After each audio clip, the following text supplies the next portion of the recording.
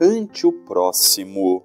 Emmanuel, quando as circunstâncias nos ofereçam incompreensões ou acusações em torno do próximo, busquemos examinar acontecimentos e pessoas com os olhos do Cristo. Imaginemo-nos de posse do senso divino, sem perder a noção de nossa reconhecida pequenez e a incomensurável grandeza daquele a quem nomearemos por nosso Mestre e Senhor.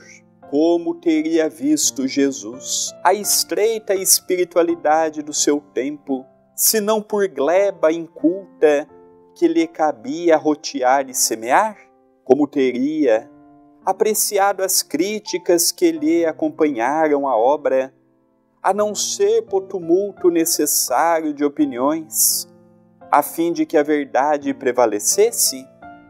Fosse quais fossem as crises, jamais perdia o mais alto padrão de serenidade, aproveitando o tempo para construir a situação no futuro e concretizar os seus luminosos objetivos. Muitos viam em Zaqueu o avarento incorrigível. Ele, no entanto, nele identificou o homem rico, de nobre coração, capaz de transfigurar a riqueza em trabalho e beneficência. Em Bartimeu, a multidão enxergava o infortúnio de um cego, ele anotou os obstáculos de um doente, suscetível de ser curado para glorificar a bondade de Deus. Em Maria de Magdala, cuja personalidade apresentava a mulher obsediada por sete espíritos infelizes, recolheu a criatura, decidida a renovar-se, e que lhe seria mais tarde a mensageira da própria ressurreição. Em Pedro, que o povo definia por discípulo frágil, a ponto de negá-lo três vezes, descobriu o amigo sincero que, convenientemente amadurecido na fé, lhe presidiria o apostolado em formação.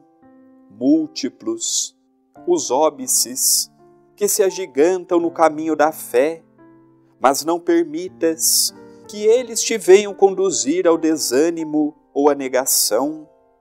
Procura enumerá-los por fora com as pupilas de Jesus e encontrarás sublime compreensão a balsamizar-te por dentro.